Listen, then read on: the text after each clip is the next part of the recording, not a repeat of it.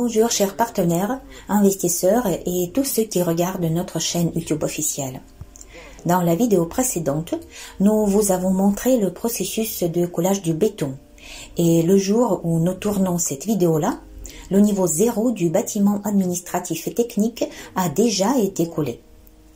Ensuite, la couche de finition sera également coulée, mais la majeure partie du travail a déjà été effectuée. Par conséquent, nous pouvons dire que les principaux travaux de coulage du sol entre les axes 1 à 17 ont été effectués. Il ne nous reste plus qu'à couler du béton entre les axes 17 à 23. Quand ce sera fait, tous les travaux de béton seront ainsi terminés. Si vous voulez comprendre si ces travaux ont été effectués plus ou moins rapidement, je dirais que la société avec laquelle nous avons conclu un contrat a commencé à travailler dans le bâtiment le 20 août dernier. Un mois et demi s'est écoulé et voilà, ce gigantesque travail est déjà presque accompli. Honnêtement, c'est agréable de travailler avec une telle équipe. Pourtant, ces travaux ne sont pas la seule raison pour laquelle nous sommes ici précisément ce jour-là. Je veux vous montrer d'autres choses également. Allons-y.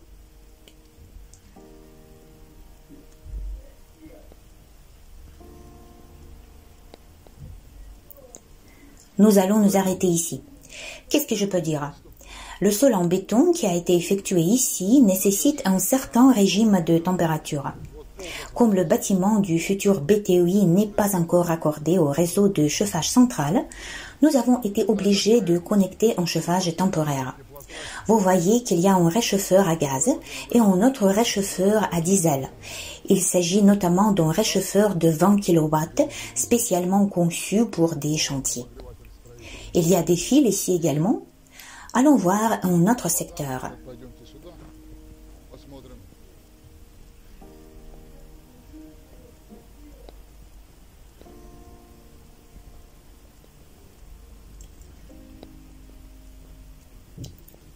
Ici, vous voyez des radiateurs électriques avec des ventilateurs. À quoi servent-ils Je voudrais noter qu'après l'achèvement des travaux du sol, nous procéderons à l'installation des cloisons car ces locaux techniques devront être séparés du bâtiment principal. Il serait donc difficile de trouver une autre façon de maintenir dans ces locaux un niveau de température nécessaire pour le béton, qui devrait attendre 28 jours pour prendre de la résistance. Heureusement, il fait beau dehors et ces planchers prennent de la résistance depuis deux semaines déjà. Cela fait presque trois semaines pour de nombreux autres secteurs coulés avec du béton.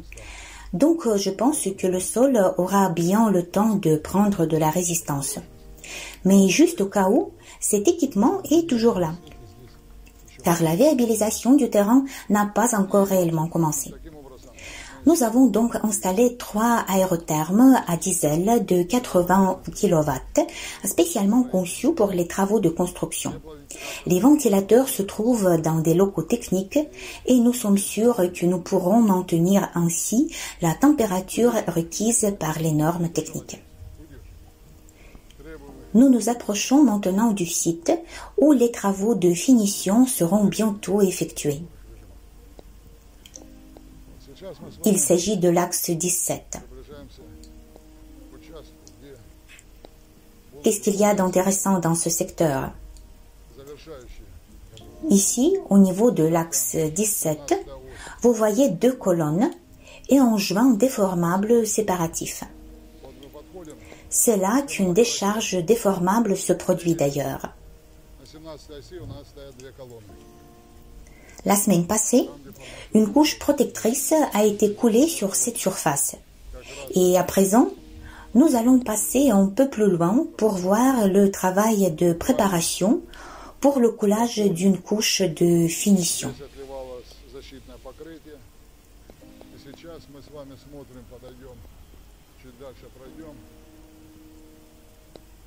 Увидим, какой объем работ делается здесь Les caméramans vous montreront tout ce qui se passe ici.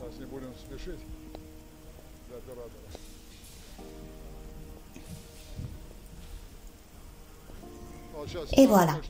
Derrière mon dos, les travaux sont en cours. De l'autre côté, vous pouvez voir des travaux de béton qui se poursuivent également. Il s'agit de la préparation des barres d'armature et du collage du béton en lui-même. Ce sera un autre coulage d'une très grande surface, le dernier coulage, je dirais même. Après cela, on pourra affirmer que les travaux de base sur l'installation du sol seront achevés. Mais pour l'instant, ils continuent. Allons vers un autre secteur important.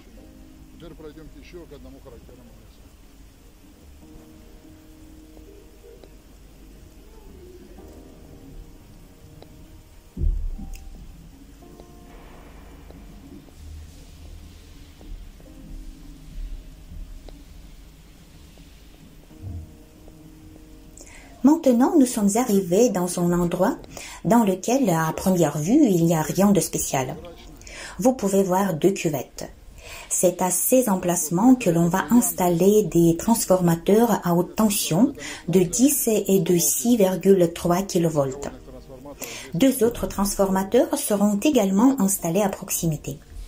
Lorsque toute cette surface sera coulée avec le béton, elle sera prête pour euh, l'installation de ces transformateurs. À présent, nous nous approchons d'un endroit où des appareillages seront bientôt installés. Des chambres spéciales sont créées pour cela et il ne reste qu'à les couler de béton, après quoi nous pourrons déjà installer ces matériels. Cet équipement est déjà fabriqué et spécialement stocké dans nos locaux en location, tandis que les transformateurs, eux, euh, sont stockés dans le chantier. Tout cela est déjà directement lié à la viabilisation du terrain du futur BTUI. Par conséquent, un grand travail préparatoire est en cours pour pouvoir fournir de l'énergie et du chauffage ici. Maintenant, nous allons voir un autre endroit très intéressant. В еще одном месте. Интересно. Посмотрим. Давайте обойдем так, чтобы Vous pouvez voir que derrière mon dos se trouve une barre de mise à la terre. À noter que ces barres sont posées dans tout le bâtiment, car nous surveillons et vérifions absolument tout. En traversant ce site, nous allons faire un petit détour pour voir un autre endroit. Nous allons vous montrer ce qui se passe là-bas. посмотрим. Вернее, покажем. Покажем.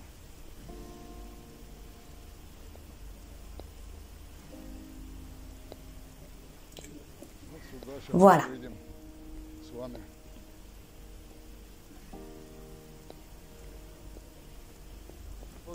Regardez donc, euh, derrière mon dos, il y a des boîtes et de nombreux tuyaux.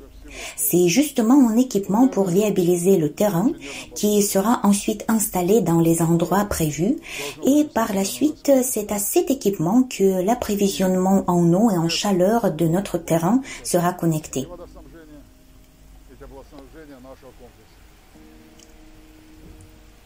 Une étape de plus et nous allons commencer à tout monter.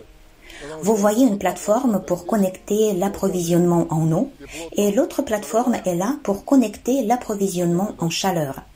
Il ne reste qu'à couler tout avec du béton et monter l'équipement. Allons-y.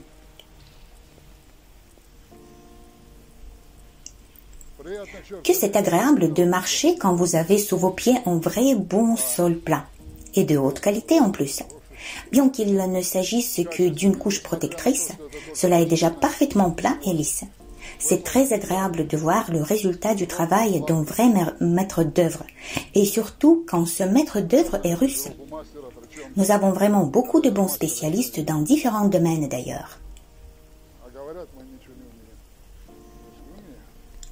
On va quitter le bâtiment. On descend. Et voilà. On est dehors.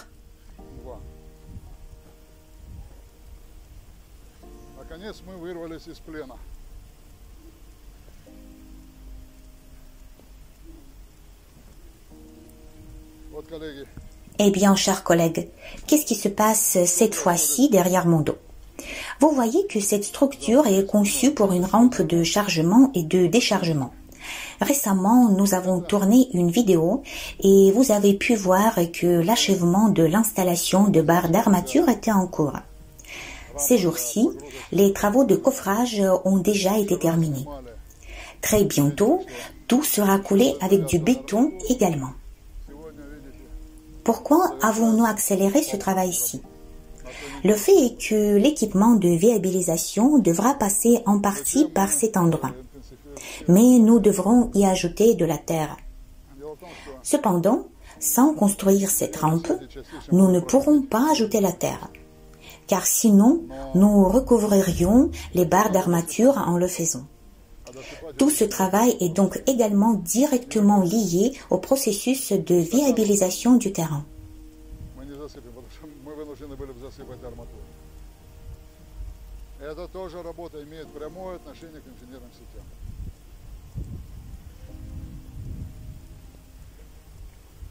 Далее. Allons plus loin. Au passage, euh, vous voyez ce véhicule de l'avant blindé qui n'attend que le moment où il pourra se déplacer dans le bâtiment.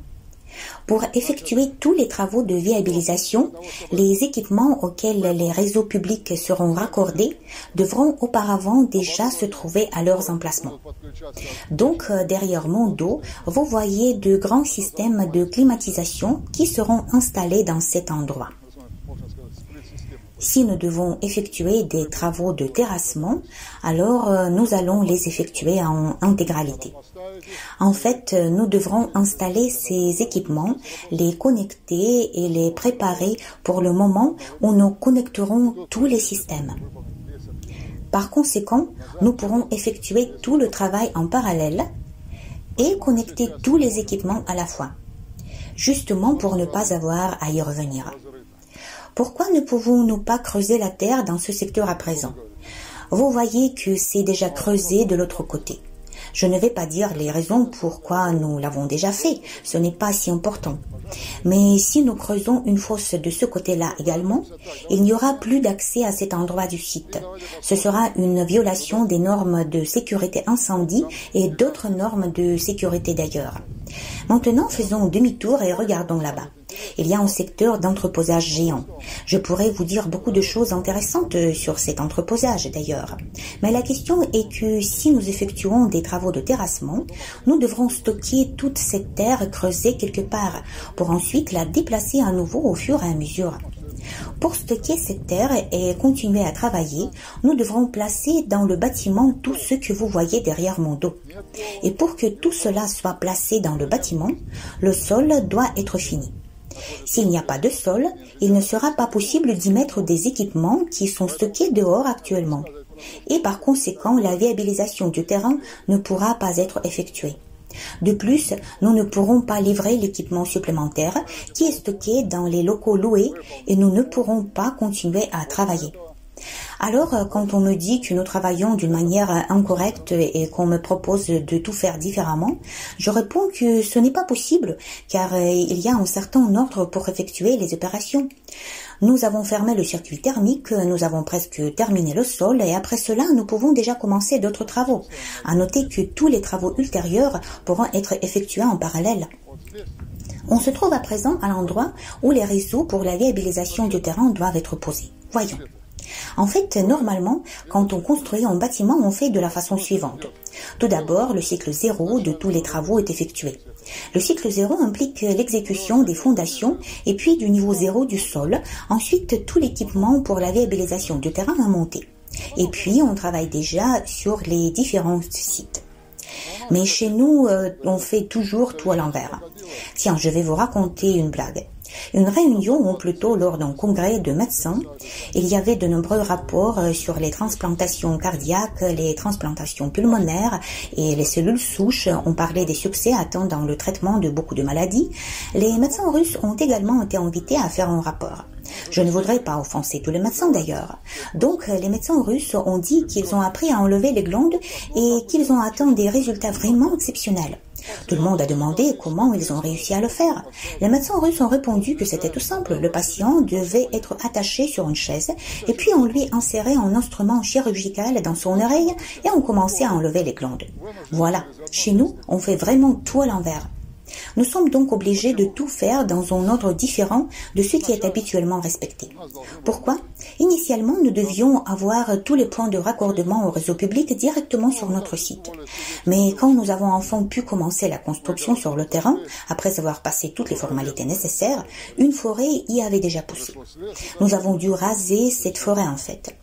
En outre, plusieurs approbations étaient nécessaires, y compris sur la viabilisation du terrain et les points de raccordement. Cela a retardé les choses. Beaucoup de gens nous ont demandé pour quelles raisons nous retardions le processus de construction. Cependant, nous ne violions pas les délais prévus.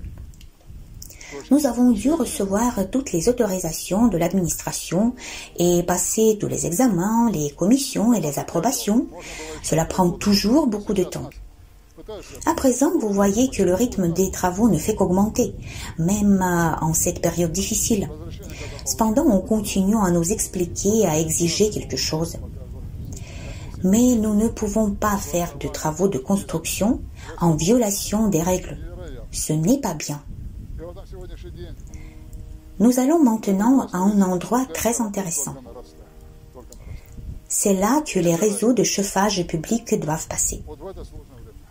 Et maintenant, nous allons à l'endroit où notre terrain devait y être raccordé.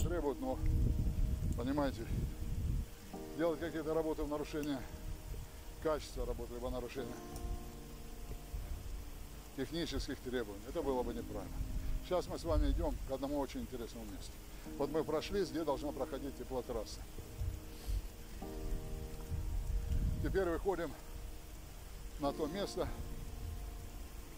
где она должна была подключаться. C'est ici. Vous voyez, c'est parfait. On devait y monter des équipements, tout devait être au mieux. Nous avons tout calculé, mais euh, tout d'un coup, on nous a dit que non. Le raccordement ne serait pas fait ici, mais là-bas, très loin, là où il y a un petit kiosque que vous pouvez voir. Vous voyez la distance qui a été ajoutée Nous allons nous y rendre pour que vous puissiez voir à quelle distance se trouve le nouveau point de raccordement. De plus, cela passe par un territoire déjà bien aménagé. Il y a de l'asphalte et des pelouses. Les ouvriers travaillaient beaucoup pour euh, faire tout cela. Comme toujours, tout est fait à l'envers.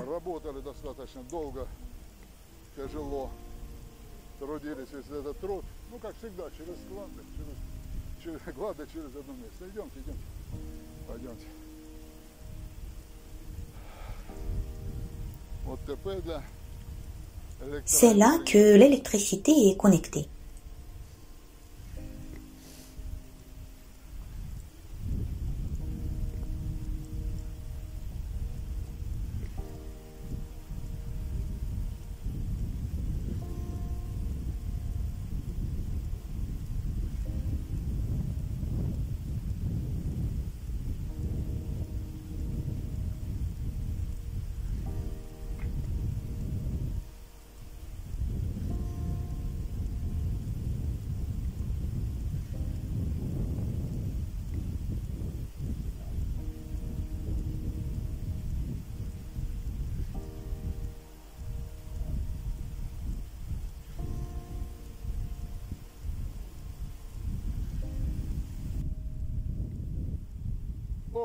Nous y voilà, enfants.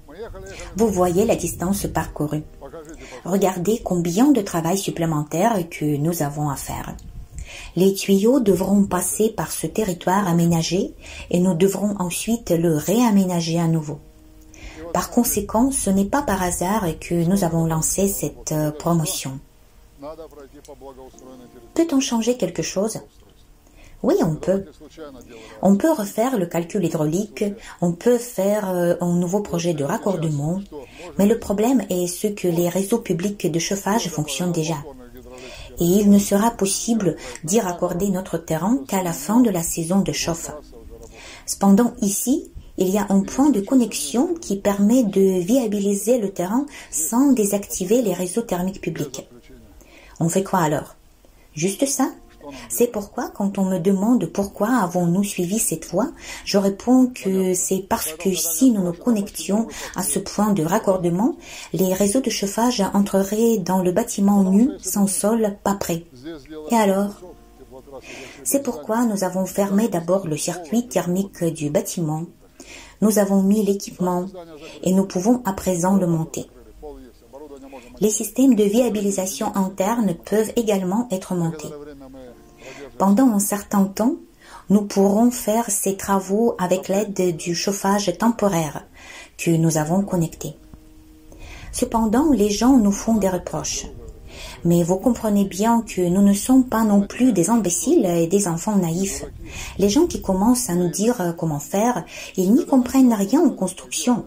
Ils ne sont pas responsables en quoi que ce soit. Alors ils disent n'importe quoi car en fait, ils n'ont rien à voir avec notre travail. Mais ils font des reproches à ceux qui font vraiment quelque chose. Comme d'habitude, on trouve toujours un coupable. On fera ce qu'il faut faire. Nous ferons tout pour que le projet se développe, pour qu'il avance et que nous ayons à dépenser un minimum de fonds. De plus, toutes les sanctions qui ont été imposées essayent de compliquer la participation au projet pour les investisseurs étrangers. Cela signifie qu'une grande charge incombe aux investisseurs russes. Chers collègues, tout est entre nos mains. Tout ce qui dépend de nous, nous le ferons. Prenez votre décision si vous allez investir ou pas. Si j'avais eu cet argent, 500 millions de roubles, bien sûr, je l'aurais investi sans hésiter. Cependant, j'ai vraiment investi beaucoup plus. De plus, j'ai une excellente équipe. Les gens demandent pourquoi la société Sovelmash euh, travaille pour un si maigre argent. C'est parce que tout le monde sait ce que nous faisons et que nous croyons en ce que nous faisons. Notre idée principale est de gagner de l'argent avec ce que nous allons produire et vendre, c'est-à-dire avec les bénéfices de notre future entreprise. Pas avec l'investissement, mais avec les bénéfices.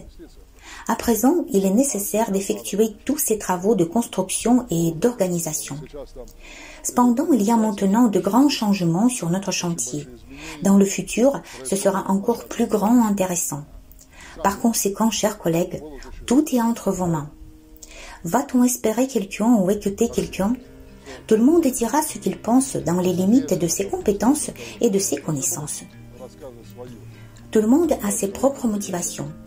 Vous et moi avons un objectif, celui d'avoir des bénéfices. Par conséquent, nous devons poser l'équipement sur ce nouveau site pour pouvoir viabiliser le terrain. Nous devons corriger ce qui est nécessaire d'être corrigé, terminer ce qui est nécessaire d'être terminé et modifier ce qui doit l'être en fonction des remarques. Tout ce travail doit donc être fait. Quant à la mise en service du BTEI au premier trimestre de 2023, comme on nous le demande, je ne prendrai pas cette responsabilité. Je ne peux pas vraiment le garantir. Le 11 octobre, il y a une réunion à Technopolis Moscou à laquelle la direction nous a invités. Son exigence est de mettre le bâtiment en service au premier trimestre de 2023. Comment puis-je promettre ce qui est irréel? Nous sommes réalistes et nous partons de la réalité sur le terrain. Nous ferons tout ce qui est nécessaire, mais le projet doit entrer en service et générer des bénéfices. Je vous remercie. Suivez nos vidéos dans lesquelles nous vous informerons rapidement de ce qui se passe sur le chantier. Comme vous pouvez le voir, nous ne cachons rien. Nous parlons ouvertement de nos problèmes parce que dire que nous travaillons sans problème, cela signifierait que nous vous trompons. On ne parle pas de tous les problèmes auxquels nous devons faire face d'ailleurs. À présent, je vous ai dit tout cela afin de ne pas vous tromper, afin que vous compreniez pourquoi la promotion visant à collecter des fonds pour réhabiliter le terrain a été organisée et pourquoi ces fonds sont nécessaires. Tout cela est vraiment nécessaire pour connecter le chauffage au bâtiment du BTI. Quand le chauffage sera connecté, les travaux de montage seront effectués plus vite. Merci beaucoup, prenez soin de vous et à bientôt.